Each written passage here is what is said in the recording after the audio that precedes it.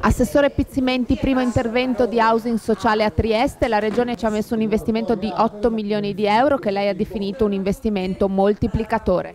Sì, in effetti è vero, con 8 milioni di euro ha generato poi quasi 80 milioni di euro per questo intervento.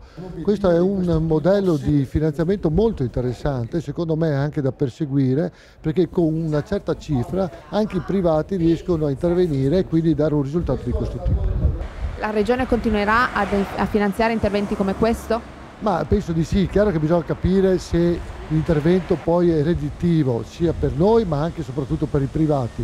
Certamente in regione ci sono altri luoghi, altri posti in cui sono interessanti i siti e quindi vedremo che cifre girano e poi di conseguenza gira. Una possibilità anche per il recupero di spazi dismessi.